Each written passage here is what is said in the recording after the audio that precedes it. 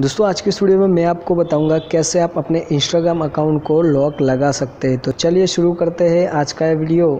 तो सबसे पहले दोस्तों, आपको अपने मोबाइल की सेटिंग पर जाना है।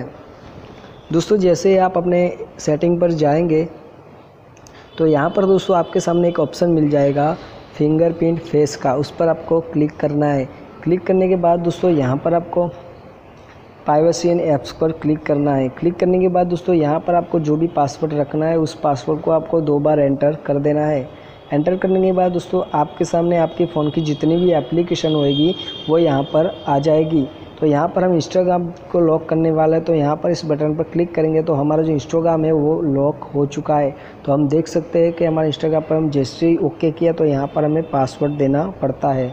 जैसे ही पासवर्ड दिया तो हमारा इंस्टाग्राम अकाउंट है, वो ओपन हो चुका है। तो उसके बाद दोस्तों आपको एक दूसरी ट्रिक बताने वाला अगर आपके फ़ोन में ये वाला ऑप्शन नहीं है तो आप इसे लॉक कैसे कर सकते तो दोस्तों, इसके लिए आपको सबसे पहले आपको प्ले स्टोर पर जाना है। प्ले स्टोर पर आपको टाइप करना है ऐप लॉक का। और ऐप को क्लिक करेंगे तो दोस्तों, यहाँ पर आपके सामने बहुत सारी एप्लीकेशन आ जाएगी। यहाँ पर आपको एक ब्लू वाली एप्लीकेशन को डाउनलोड कर लेना है। डाउनलोड करने के बाद दोस्तों, यहाँ पर आपको ओपन पर क्लिक करना है।